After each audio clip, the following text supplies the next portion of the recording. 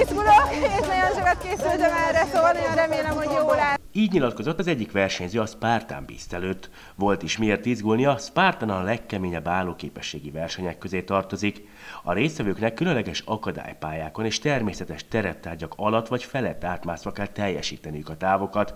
Ezen a versenyen indult el négy Tolna megyei rendőr. Több mint 30 akadályt és 25,7 kilométert kellett legyűrniük a versenyzőknek. Tolna megyében két nő és két férfi rendőr indult el a nem mindennapi futamon. Végül mindannyian teljesítették is azt. Bodnár Kövesi Szilvia, rendőr törzsőrmester a Paksi autópálya alosztályjárőre, Tibai Dort Tíme a a Paksi rendőrkapitányság vizsgálója, illetve az ő férje Tibai Szabolcs, a Paksi rendőrkapitányság bűnügyi technikusa, és Csucsi Gergely, a Szexádi rendőrkapitányság baleset helyszínelője volt az, akik a Spartan Trifecta törzs tagjaivá válhattak.